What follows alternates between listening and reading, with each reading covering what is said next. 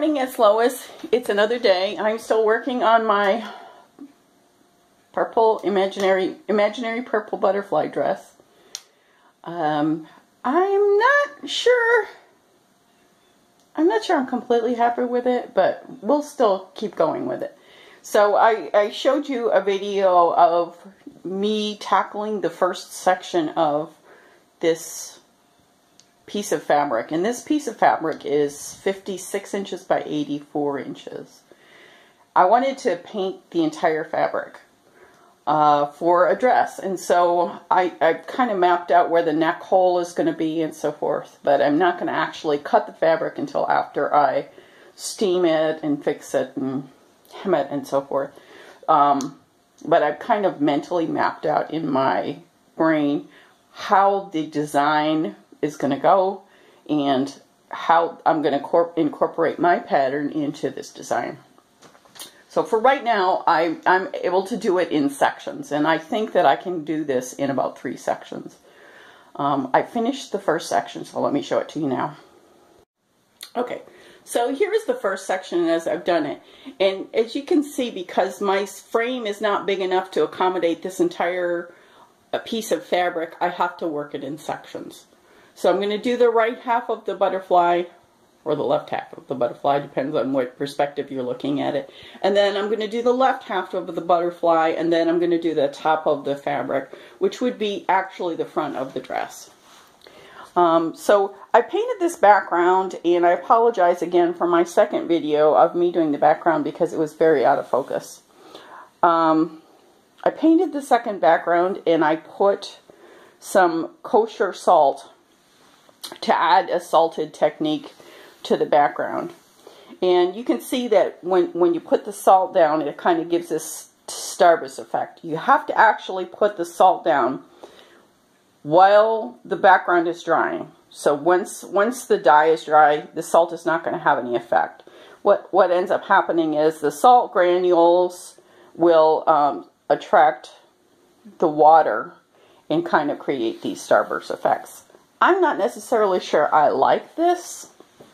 I may alternate some sections of salt treated with not salt treated. We'll see how it goes. We're kind of playing this by ear. A lot of times I come into a project and I think, that's this is exactly what I'm going to do and I lay out my pattern and I trace everything and it's all traced out by the time I stretch it. But this one's kind of working as I go, taking into account the size of the fabric, my design, what I want it to look like, and the ultimate garment that I'm going to be producing. So now this side is done. It's dried because it's a new day. Um, you can see I'm in a new outfit too. And uh, I will disassemble this right now and then I will stretch it out so that I can work on the left side.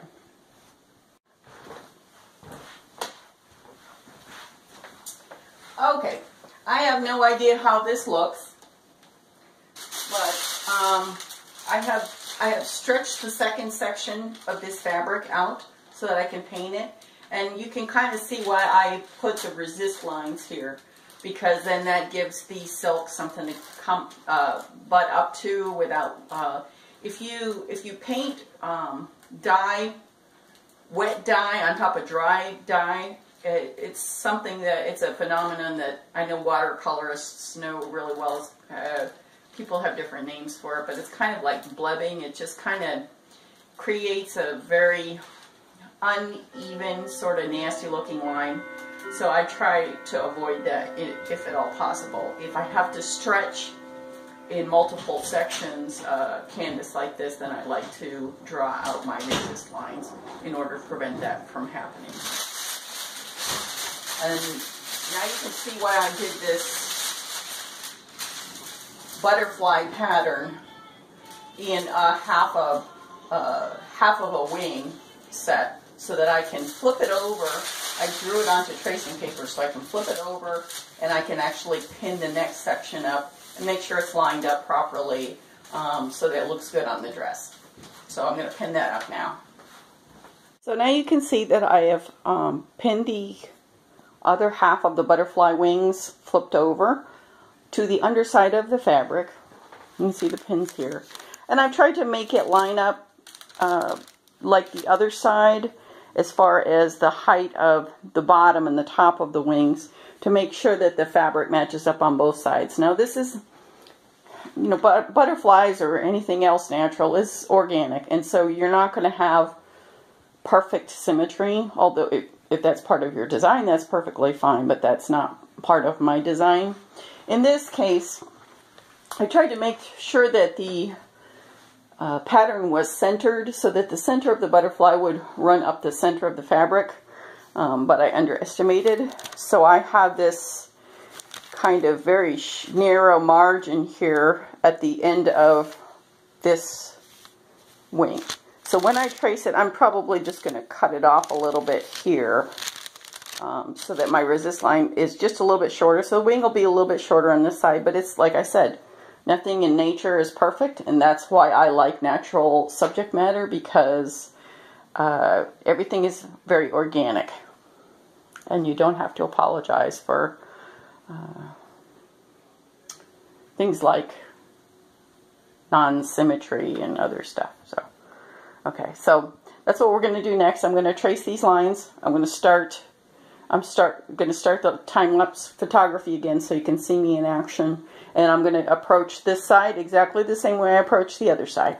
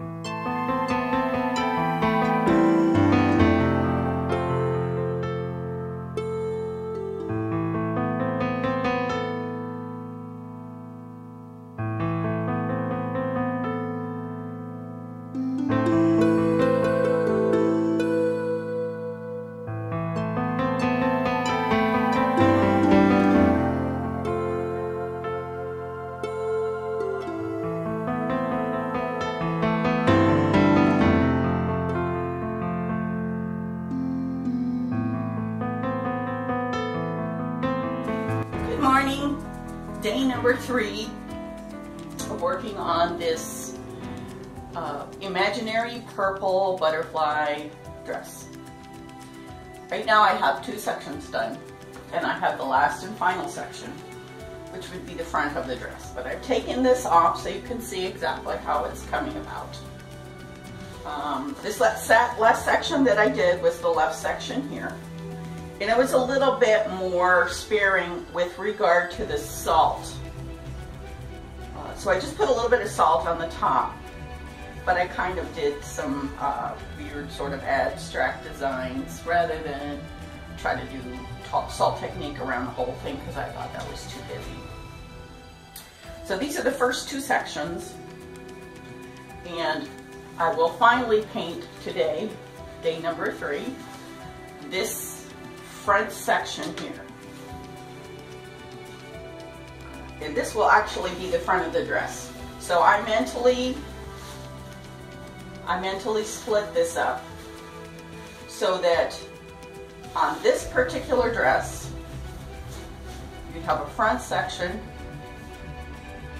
and, uh, and I believe that this is just going to be background that's coordinated with the back because the back is really what counts and the back is going to be this butterfly.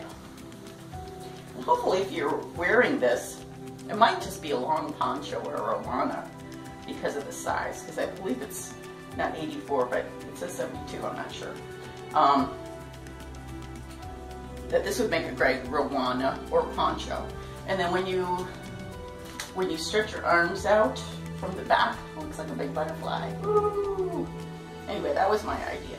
So I'm going to finally do work on the last section. And rather than do it situated this way, I'm going to do it this way. That way I can do it in section, three sections instead of four.